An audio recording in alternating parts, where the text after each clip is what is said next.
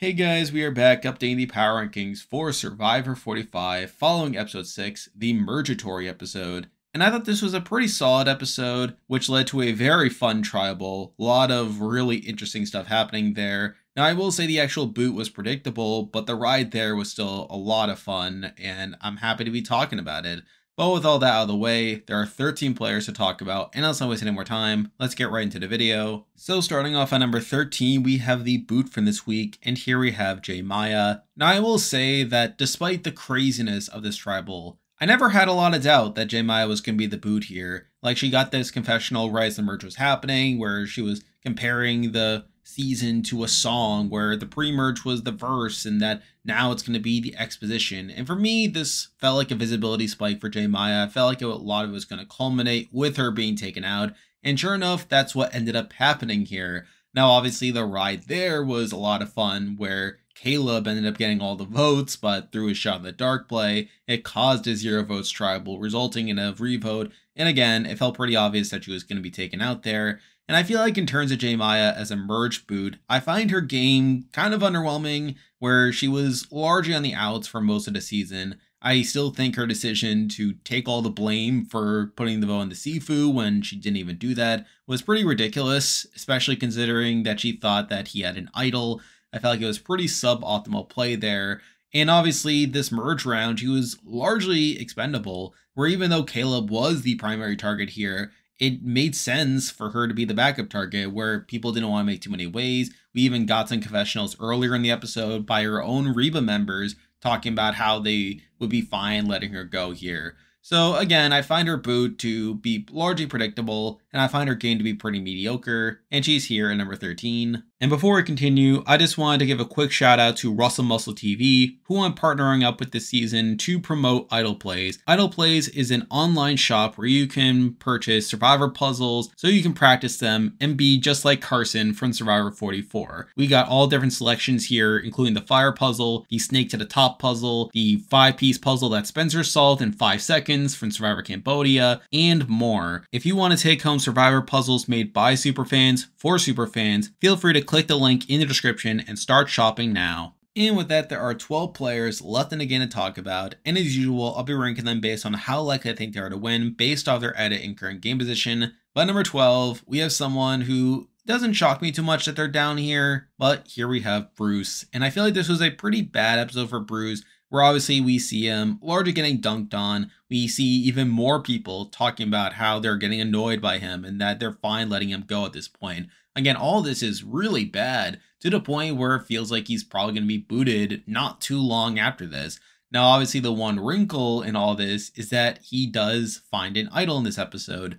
And considering the mergatory round, it didn't make sense for him to be the boo here, as even if he lost the challenge, I feel like he probably just would have played the idol there, as it doesn't make sense when you're one of only six options there. But obviously, we're going to be moving forward now. I think the next episode will be kind of hairy for him, considering it will be a split tribal. So you would think that he would probably play the idol there, but you never know. But really, this edit is pointing towards him being taken out not too soon afterwards. I feel like it's shown a lot of his flaws, and I feel like he has really no redeeming qualities at this point which is why he is here number 12. Now moving on to number 11, and even though this person's still in the bottom of the pack, I actually thought this was an alright episode for them, and here we have Sifu. Now I will say that this episode as a whole was actually kind of good for Sifu, where he gets this nice confessional about how the beginning of the game was all about having fun, but now it's psychological warfare. And while it's largely a goofy scene where we see him just jumping up on people, I do think it could point to a turnaround in his edit, though realistically, I think he'll probably just lead to him being more of a big character here. I don't really see him winning the game, but again, I do acknowledge that this was a better episode for him, but compared to the other options, I do have to leave him here at number 11. Now moving on to number 10, and we have someone who I've remained very consistent on throughout the season, and here we have Julie. And again, I feel like this was largely more of the same for her. She does get this confessional about how the vote should be simple given the Rebas had the majority, but they know that J will turn on them at the first opportunity. I feel like a lot of her content just continues to be pretty surface level, and I feel like there isn't too much depth to it. But again, I feel like she has a bit more longevity in the game compared to Sifu, which is why I have her here at number 10. Now moving on to number 9, and I know this person just had a pretty massive episode here and had a pretty big moment. However, I feel like I'm still very low on this person at this point, and here we have Caleb. And obviously, Caleb is the star of this episode, where he does ultimately use his shot in the dark successfully nullifying 11 votes, which breaks Wentworth's record for the most votes nullified at a single tribal, which is pretty crazy there. But I think it also ties into why I don't have a ton of faith in him. We're ignoring his edit, which I feel like has been more the same, where he's been shown like being a very strategic player, someone that's probably going to be a big player in the future. I think this tribal just emphasized to me that he's just really bad at managing his threat level. Like the fact that everyone voted for him at this tribal is really insane and just goes to show that people are already clocking him as a really big threat, which makes me even feel even more confident that he's just going to be a big player taken out in the mid game pretty much. Now, obviously, Emily does vote for him as well, although I feel like that was largely her saving phase in case the shot in the dark play didn't work. So, I mean, you take that for it too well. But still, I feel like we got more of the same from him. And I feel like now I'm a bit less confident in him actually winning, even more so than I was already, when I already was kind of out on him.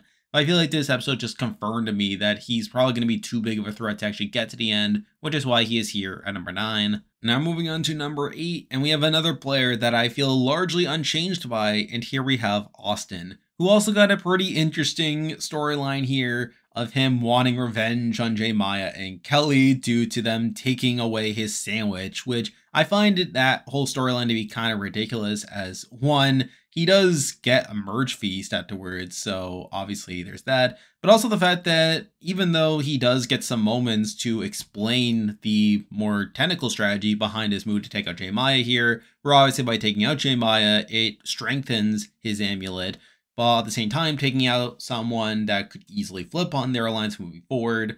The fact that they just focus so much on the sandwich just makes him feel a bit more goofy in my view. I feel like that's probably not the way you want to present it. I feel like you probably want to highlight more of these complexities here. But again, as it is, it's not a terrible edit. He does get his way by the end of it, and I do feel like him taking out J. Was probably the correct move, even though he does vote for Caleb initially, but whatever. However, I still feel like he's someone that really lacks a storyline beyond like this one move of taking out J Maya and getting a revenge, which is why I do have him here at number 8. Now moving on to number 7, and I'm a bit conflicted on this person as I feel like on the surface this person seemed to have a good episode, though at the same time I still have some worries about their future prospects, and here we have Kendra. Now, I will say that this was probably a better episode for Kendra, at least in terms of her screen time here where she talks about how she was blindsided at this tribal and that she wants revenge on Emily. There's this petty part of her that she can't use in her daily life, but Survivor is the perfect place to let it out.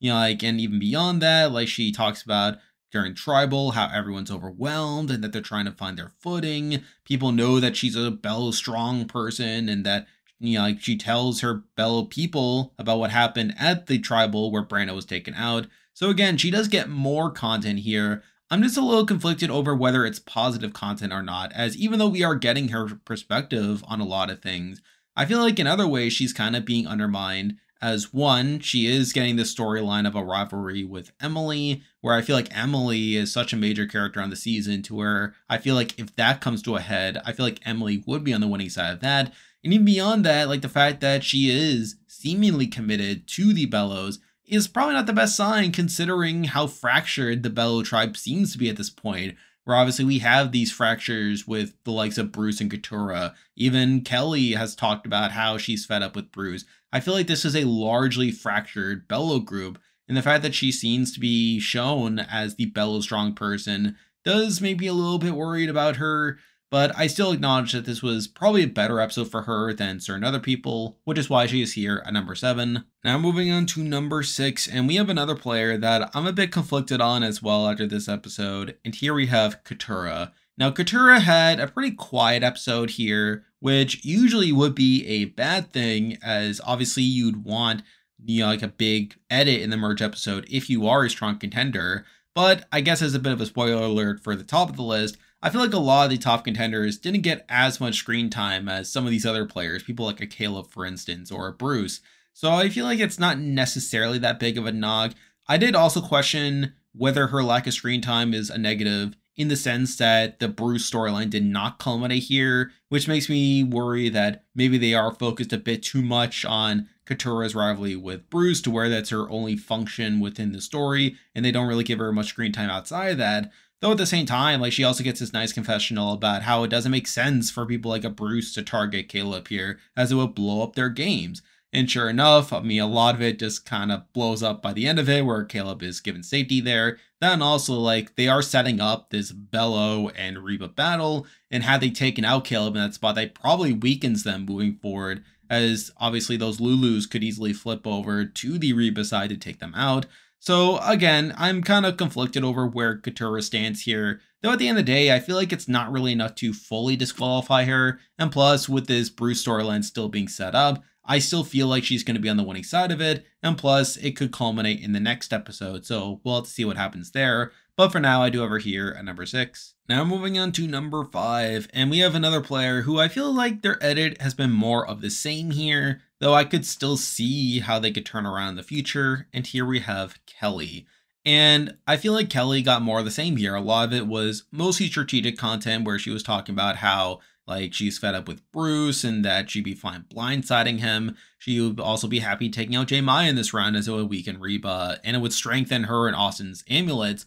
However, knock to that is that I feel like Austin's probably on the right side of that, where obviously Austin talks about getting his revenge for not getting his sandwich and getting his way by taking out J Maya. And while Kelly didn't get as much focus in that, I could also see Austin like furthering that storyline by taking out Kelly as well to ensure that his amulet becomes a full fledged idol. So I do worry for her in that regard. But even beyond that, like, I feel like as we have seen in more episodes, she's been getting a lot of strategic content, but not as much personal content as I would like. Now, I feel like compared to these other big players, people like a Caleb, I feel like we definitely have seen a bit more of Kelly due to her talk about being a nurse, but it still makes me worried that she could still fall into that mold at this point. And plus, with her, again, getting quite a bit of screen time, it wouldn't surprise me if she were like a surprise early merge boot as early as the next episode, though we'll have to see what happens there. So I'm not entirely out on Kelly either, though I am a bit conflicted about her merge episode here, which is why she's here number 5. Now moving on to number 4, and this person also got what I expected from them in this episode, and here we have Drew. And again, as a decoy winner, I felt like Drew got what you would expect, where he got a pretty typical solid merge episode here talking about how like he has a core alliance and that he's in a good spot he likes being the leader and that if he can squash out certain targets right now that would be great he doesn't want to play buddy buddy and even talks down to his fellow players for goofing off in the merge when the merge is the stage of the game where you're supposed to be elevating yourself to the next level so I feel like that's all pretty good. He also talks about the merge feast and how it lowers people's guards so where they're more willing to talk game. Again, it's largely what you would expect, though not enough to change my view of him as him being this big player, this player that's eventually going to be the king of the game, and with that, someone to take him out. So not much to really change my view on Drew here, but again, I feel like he's still going to be in it for a decent amount, which is why he is here at number 4. Now moving on to number three, and we actually have the highest ranked man left in the game. In theory, we have Jake.